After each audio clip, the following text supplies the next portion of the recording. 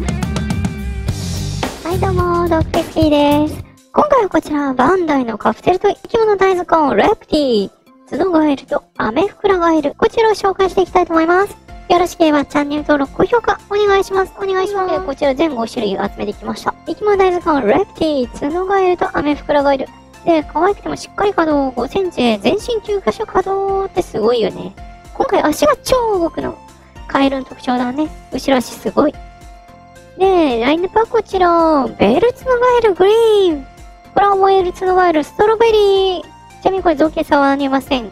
クランウェルツノガエルのアルビノイエローにアメフクラガエルダークにアメフクラガエルのライト。この全5種類になってます。実質パターンは2種類よね。うん。で、こんな感じで袋にも完成品として入っております。これで500円って安いよね。超びっくり。で、こんな感じでね、かりと、ツヤツヤした感じで入ってんのよ。今回のすごい出来いいよね。レプティシリーズってさ、まあ、ちょっと控えめだったり、ツヤなかったりするってイメージあったけど、今回ツヤツヤなのよね。で、こんな感じで足の根元が長いボール、ダブルボールジョイントになってんの。で、足の方、こんな感じで、後ろ足はね、超関節多く入ってんだよね。全身9箇所って言うけど、ダブルっていう風に考えるとさらに動いてるよね。こんな感じで片方伸ばしてみると、ここまで伸びる。すごくない？めちゃくちゃコストかかってるよね。はい、足まっすぐ動く。てか、ここまで動くとね、普通の生き物大図鑑のアドバンスに出ていた角ガエルの方。そちらとなんか、いい感じの、うん、可動域。前足はこんな感じでシンプルにね、ボールジョイント1箇所だけ。で、あとはお口が開く。ここら辺はね、シンプルにレプティって感じだよね。頭が動かない分足に関節全振りした感じだね。目は黄色で黒目が入ってて。いやーいいね。ただこれ頭の形を見るとわかるんだけど、クラウンワルツのガエルなのか、ベルツのガエルなのか、微妙に特徴を半々にしての感じで。まあデフォルメしてるといえばそのままなんだけどね。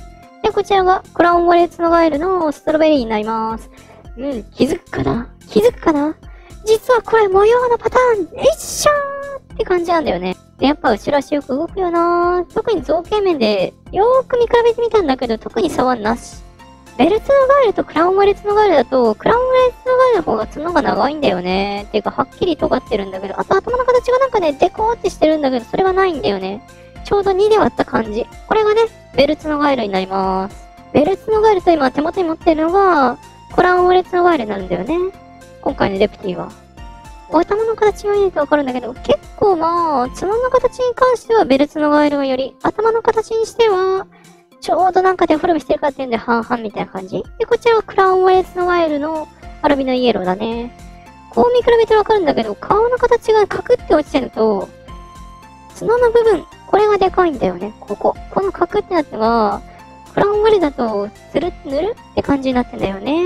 こんな感じで顔に結構特徴あるはずなんだけど、今回のこのレプティに関しては全部デフォルメしますよ造形一緒だよっていう感じ言ってる気がしなくもない。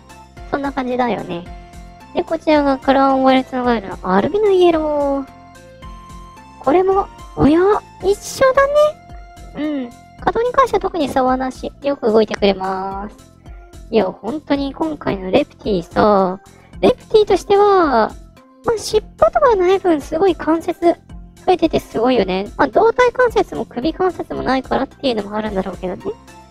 だからといって後ろ足こんな可動増えると思わないじゃん？思わないじゃん？すごい出来いいよ。